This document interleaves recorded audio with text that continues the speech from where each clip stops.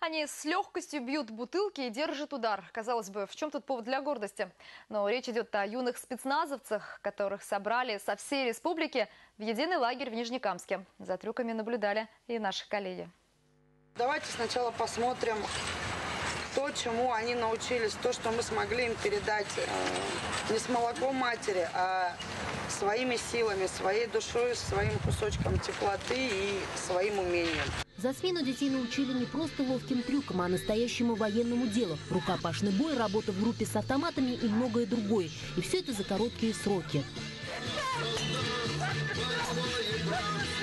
Большинство из воспитанников лагеря – школьники от 9 до 18 лет. Приехали они из разных городов Татарстана, чтобы познать азы военного дела. Основная часть ребят – это те, кто в будущем планирует связать свою жизнь с армией. Смотря на, на, на ваших парней, э, можно спать спокойно, честное слово.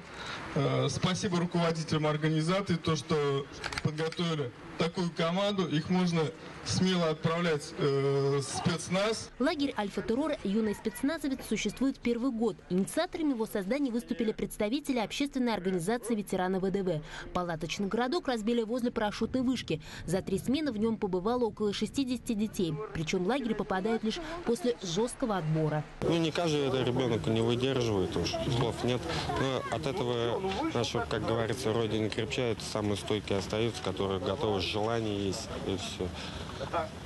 От этого уже определенно вот таких людей в будущем будет набирать спецназ определенный род войска. Все, кто прошел всю смену, в лагере на закрытии торжественно награждают. Вручают шеврон воздушно-десантных войск и голубой берет. Долгов Константин Сергеевич. Служу России спецназу! Счастливым обладателем голубого берета стал Сергей Казаков, ученик Нижнекамской кадетской школы. Сергей твердо решил поступать в Рязанское высшее военное воздушно-десантное училище. Лагерь же стал хорошей подготовкой. Стал выносливее.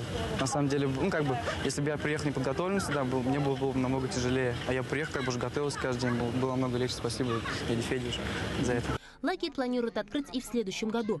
В этом, как утверждают инструкторы, все прошло успешно. Фрида Шмуратова, Алмаз Кашаев, Евгений Лызаев, Вести Татарстан, Нижнекамск.